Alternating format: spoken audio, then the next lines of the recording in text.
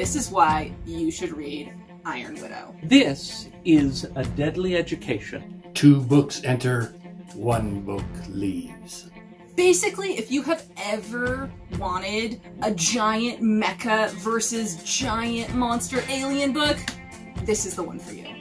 It is about a magical boarding school for wizards, but unlike many other magical boarding schools, such as Hogwarts, this one is sentient and actively trying to kill its students, because you know that builds character. Do you love Pacific Rim? Have you kind of wondered what it might be like in a world that's run like The Handmaid's Tale?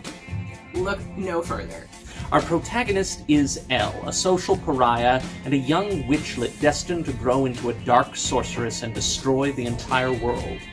But she's just not feeling it at the present. There's so much going on, but it moves through the plot so elegantly that you're never lost. You're always on the edge of your seat.